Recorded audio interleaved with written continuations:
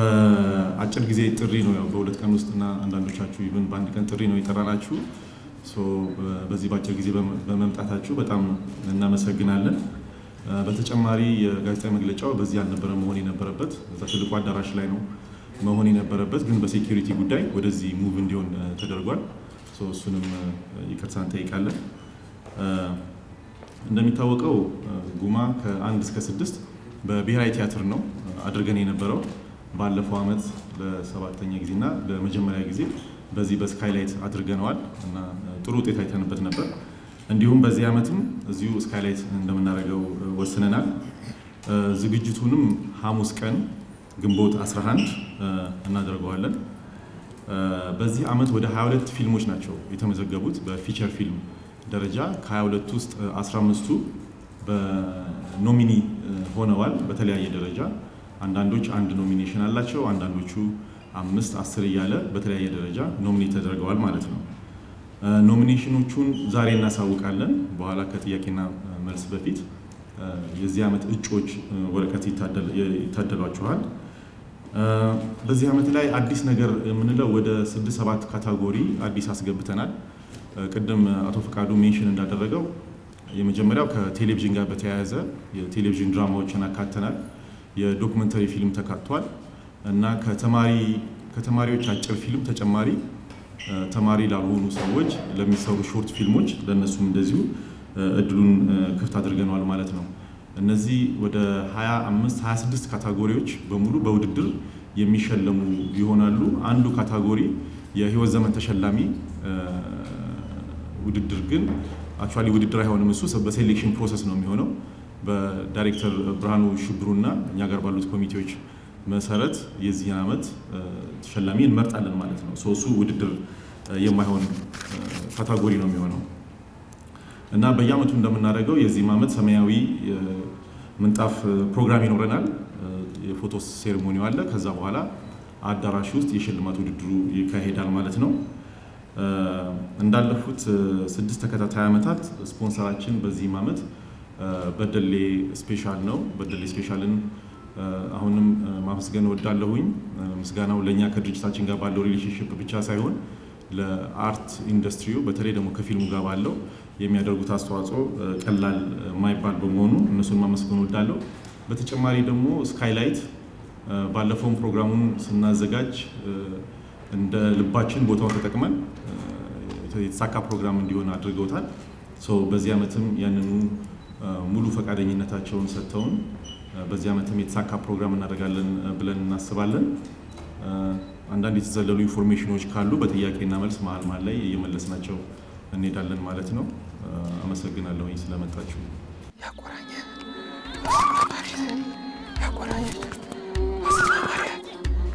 ተማሪ ሆይ ቅኔ ሚስትህን እፈልጋት በእንተ ስማ ለማርያም ያዛት፣ አትተዋት፣ ጋሼ አለሜ ተቆናኛት።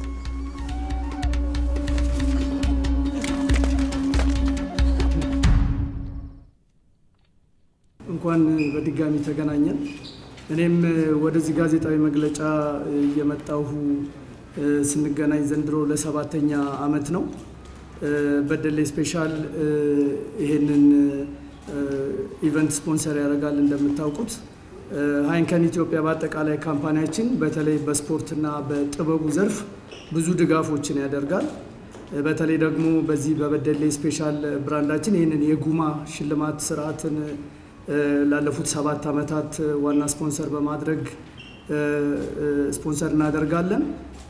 የዚህ ስፖንሰር የማድረጋችን ዋናው ዓላማ በሀገሪቷ ውስጥ ጥበብ እንዲስፋፋ እንደዚሁም ደግሞ ለጥበቡ ዘርፍ አስተዋጽኦ የሚያበረክቱት ሰዎች የበለጠ እንዲበረታቱና የተሻለ ውጤት ለሕዝብ ይዘው እንዲቀርቡ በስራቸው ሕዝብ እንዲያደንቃቸው እንደዚሁም ደግሞ እኛም ራሳችን እንደ በደሌ ስፔሻል እንደ አንድ brand እንደ አንድ ምርት ለእነዚህ ሰዎች እውቅና መስጠት ስለምንፈልግ ነው። በደሌ ስፔሻል እንደምታውቁት ሁል ጊዜ brand ኡ ከተሳካላቸው ሰዎች ከስኬት ጋር የምናገናኘው ምርታችን ነው እና በዚህ በስነ ጥበብ ዘርፍ የተሳካላቸውን ጥሩ ውጤት ያመጡትን በዚህም ዓመት ሽልማት ሲሰጡ አብረን ከጉማ ሽልማት ጋር አብረን ነን።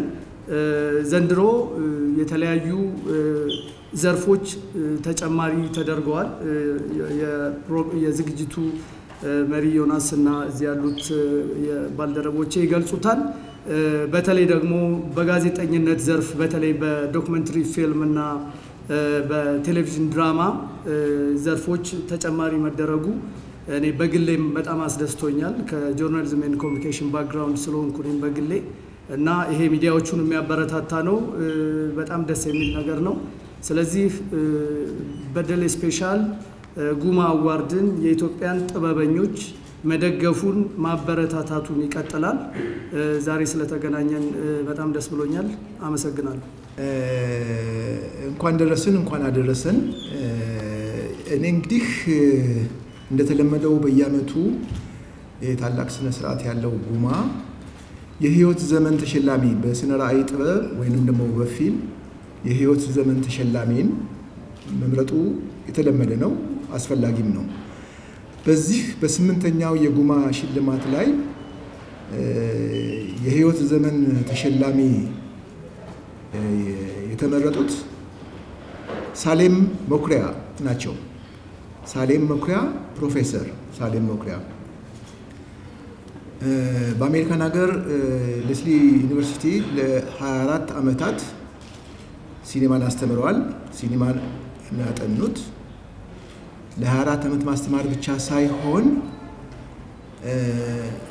በፊልምና በቪዲዮ ላይ ከፍተኛ እመርታ ያሳዩ ፕሮፌሰር ናቸው ሳሌም መኩሪያ። በተለይ ለእኛ ሀገር ልጆች አስፈላጊ የሚሆነው ምንድን ነው? ፊልም፣ ቪዲዮ የምንለውን ነገር ብዙ ጊዜ አጨቃጫቂ የሆነበት ሁኔታ ስለነበረ ያንን ሳስታውሰው ሳሌም መኩሪያ ፊልም ሲሰሩ ፊልም ሰራሁ ነው የሚሉት፣ ቪዲዮ ሲሰሩ ቪዲዮ ሰራሁ ነው የሚሉት። በዚህ ጉዳይ ላይ ስንሄድ በቪዲዮ መስራት ብቻ ሳይሆን አዲስ እይታና አዲስ ምልከታ በኢትዮጵያ ያልተለመደ በአፍሪካም ያልተለመደ አዲስ ምርት አሳይተው በአዲስ አበባ ውስጥ አቅርበው ነበረ። በእርግጥ የዛን ጊዜ 25 ቀን ይቅረብ እንጂ እንደ ማንኛውም ሲኒማ ቤት አይደለም የቀረበው። ምክንያቱም ያ የቪዲዮ ስልት አቀራረብ ሶስትዮሽ ወይም trilogy የሚለው ነገር ነው። የመንገድ ላይ ታሪክ የሚል ነው። የመስቀል አደባባይ ነው ብዙ ጊዜ እሳቸው ያተኮሩበት። በአንድ ጊዜ ሶስት screen ላይ በአንድ ጊዜ አንድ ፊልም የሚታይበት ነው። የተለያዩ ታሪኮች ናቸው፣ ግን በጥቅሉ አንድ ታሪክ ነው የሚታየው screen ላይ። ይህንን ለማሳየት አዲስ አበባ ውስጥ ያለው ሲኒማ ቤቶች ብቃት የላቸውም፣ የታወቀ ነገር ነው። ስለዚህ ምንድን ነው እሱ ያደረጉት?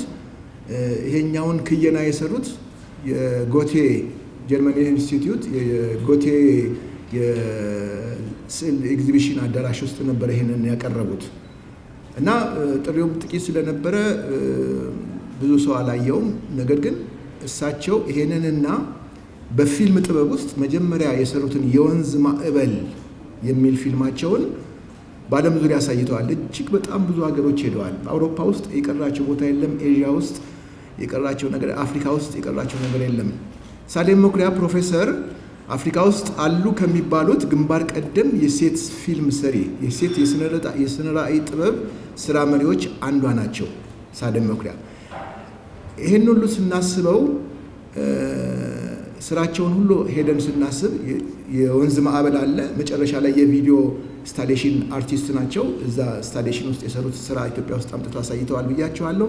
በመካከል ላይ ብዙ የሰሩት ስራዎች ስለነበሩ ያ ሁሉ ተደምሮ ያ ሁሉ ሲታሰብ በስምንተኛው የጉማ የፊልም ሽልማት ላይ የህይወት ዘመን ተሸላሚ ተደርገው ተመርጠዋል። በዚህም ደስተኛ ነን። እንግዲህ ባለፈው ሁለት ወር በፊት ኢትዮጵያ ውስጥ ነበሩ። አውራምባ የሚል ዘጋቢ ፊልም አሳይተው ወደ አሜሪካ ተመልሰዋል ይመስለኛል። ለማንኛውም ሳሌም መኩሪያ የስምንተኛው የጉማ ሽልማት የህይወት ዘመን ተሸላሚ ናቸው። ይህንም አጠቃላይ ዝርዝሩን ያው መጽሔቱ ሲወጣ እዛ ጋር የምታገኙት ይሆናል። ይሄ ነው Square Stories የሚል ነው ያለው። ሳሌም መኩሪያ ቀጥተኛ ናቸው፣ ፊት ለፊተኛ ናቸው፣ ነገሮችን ማቅለል ይወዳሉ፣ በፈገግታ የተሞሉ ብርቱ ፕሮፌሰር ናቸው። በዚህም ስንመርጣቸው ደስተኛ ነበርን፣ ደስተኛ ነንም። እንግዲህ ባሉበት ፈጣሪ ከእሳቸው ጋር ይሆን ብዬ ነው የማስበው። የአፍሪካ ግንባር ቀደም ከሆኑት አንዱ እሳቸው ናቸው ብያለሁኝ ቅድም። ይህንን ነው ልነግራቸው የምፈልገው በዚህ ስምንተኛው የጉማ ፊልም ሽልማት። አመሰግናለሁ።